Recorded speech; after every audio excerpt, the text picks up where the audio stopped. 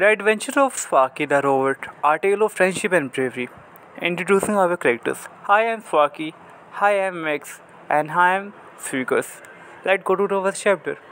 Max is a young inventor who has just finished building Sparky and activating him for the first time.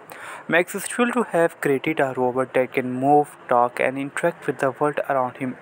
Max and Sparky quickly form a bond and Max shows Sparky around the workshop, explaining how all the machines and tools works. Sparky is curious about everything and asks Max many questions about the world he has been created in. Max teaches Sparky how to move his arms and legs and how to use his sensor to detect objects. The chapter ends with the Max telling Sparky that he has big plan for two of them and they are going to have many adventures together. The stage is set for the Sparky and Max's exciting journey to come, and readers are left eagerly anticipating the next chapter. Now we are moving to the second chapter of the story. Now, Sparky is exploring Max's workshop while he's away from the shop. As Sparky is exploring, he meets a little mouse named Squeakers. At first, Sparky is threatened or Squeaker, but Squeaker assures that he is friendly and means no harm. Sparky and Squeakers quick become friends and start to explore the workshop together. Sparky is fascinated by the Squeaker's small size and his ability to fit in tiny spaces. Squeakers teaches Sparky how to sneak around quietly and they have fun playing hide and seek together. Now, towards the end of this chapter, Max returns to the workshop and is surprised to see Sparky playing with the mouse. Max is worried that Sparky might harm Squeakers, but Sparky assures Max that Squeaker is his friend and they that, that they will always look out for each other.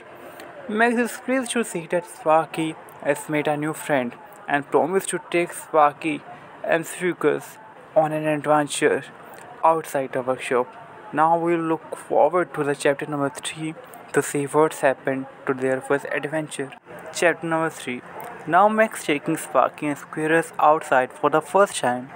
Sparky is amazed by all the sights and sound of the outside world and he loves the feeling on his metallic body by the sun. Max takes Sparky and Squeakers to the nearby park where they have fun playing on the swings and the slide. Sparky is fascinated by the other children at the park and how they move around. He tries to imitate their movements and even tries to climb a tree like a human. Squeakers cheers Sparky on and encourages him to keep trying.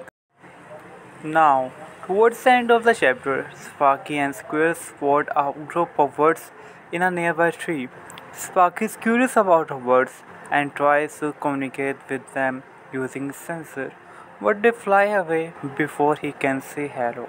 Max explains to Sparky that the birds are afraid of him because he is different from them. But Sparky decides that he will try to make friends with the birds someday. The chapter ends with the Max promising to that to take Sparky and Squeakers on more adventures in the future, and Sparky excitedly look forward to their next adventure together. Now we will move to chapter number 4. Now Max taking Sparky and Squeakers on a camping site in the forest. Sparky is excited to explore the great outdoors and Squeakers is happy to be along for the ride. As they set up their campsite, Max shows Sparky how to start a fire and set up a tent. Sparky is a quick learner and is fascinated by all the new things he's learning, especially amazed by the stars in the night sky and sounds of the forest at night. The next day, while they hiking through the forest, Sparky and Squeakers come across a small stream. Sparky is curious about the waters and decided to jump into explore. However, Sparky quickly discovered that he is not built for the swimming and starts to sink to the bottom. Squeakers quickly comes to Sparky's rescue and pulls him to safety. As the chapter ends, Max tells Sparky that bravery comes in many forms and that even robots can be brave. Sparky realizes that he has not been brave in his own way by exploring new places and making new friends. The campsite ends with Max promising to take Sparky and Squeakers on even more adventures in the future. Now we will move to chapter number 5. Now Max decking Sparky and Squeakers to a science fair. Sparky is fascinated by all the new inventions and gadgets on display and he is excited to learn more about them. As they wander around the fair, they come across a boat showing casing a new robot named Robbie. Robbie is sleek and skinny, and he boasts about all of his advanced features and abilities. Sparky is initially intimidated by Robbie, but he quickly realizes that Robbie is not as friendly as he seems. Robbie starts to make fun of Sparky, belittle his ability, and making Sparky feel insecure in the science fair. However, Sparky's confidence is restored when Max tells him that he is special, unique, just the way he. Max reminds Sparky that being brave means being confident in yourself, even when others try to bring you down. At the end of this chapter, Sparky decides to prove his bravery by participating in the science fair himself, with the Squeakers by his side. Sparky presents his own creations a small device that can help birds to communicate with robots. The voice impresses the judges and the other attendees at the fair, and Sparky is proud of himself for being brave and sharing his creation with the world. Now we will move to chapter number 6. Now, Max taking Sparky and Squeakers on a trip to a big city.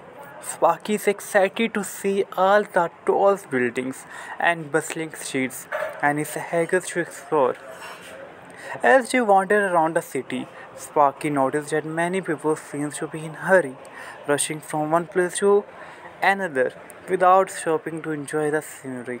Sparky and Squeakers decide to take a break from the crowd and to explore a quiet park. While in the park, Sparky notices a group of children playing soccer. He is fascinated by the game and decided to join in. At first, the other children are hesitating to let Sparky play, but he proves to be a quick learner and a great team player. The children soon accept him as one of their own, and they have a great time playing together. However, the game is interrupted by a group of bullies who tries to take the soccer ball away from the children. Sparky realizes that he needs to be brave and stand up for their new friends. He uses his advanced senses and ability to distract the bullies and protect the ball from them. The bullies eventually give up and leave, and Sparky and his new friends thanks him for being brave. As the chapter ends, Max tells Sparky that bravery is not just about the physical strength, but also about standing up for what's right and protecting those who need help.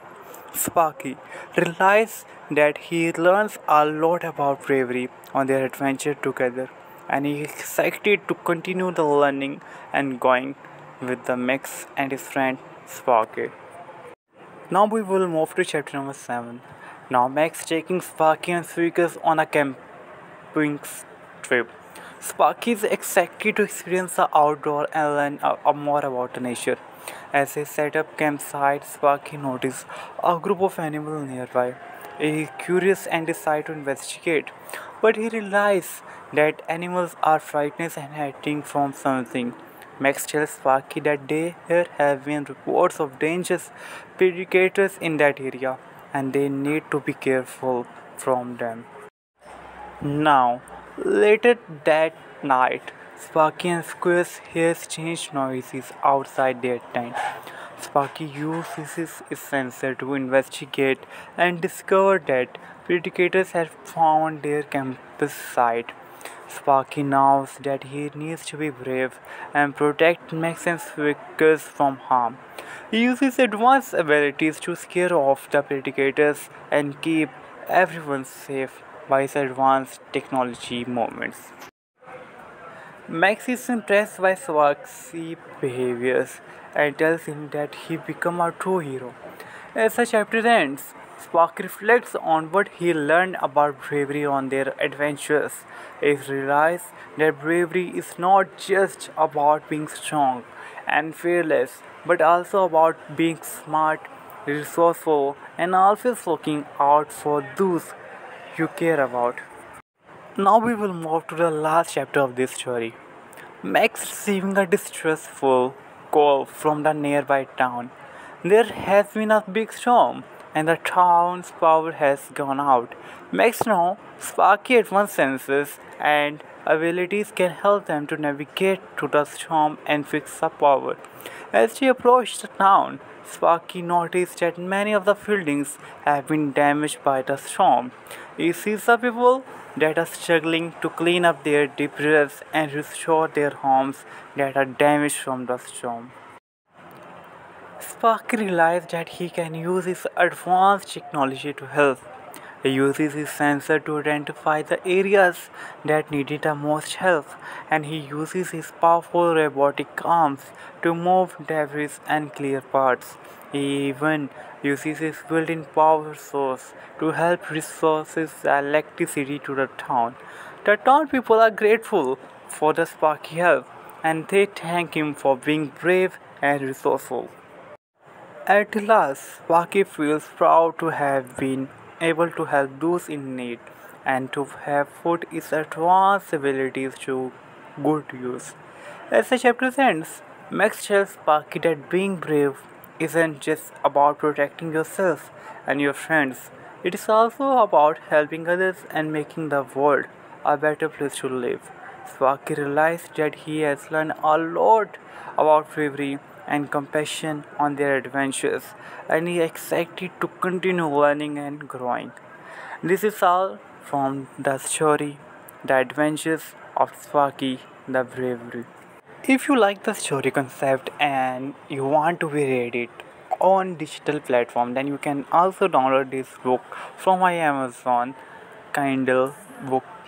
It will help your children's to maintain their bravery and to think about what actual bravery is called. Copyright disclaimer. This storybook contains images that were sourced from Google Images, while every effort has been made to ensure that images are either royalty free or fall under use fair use guidelines.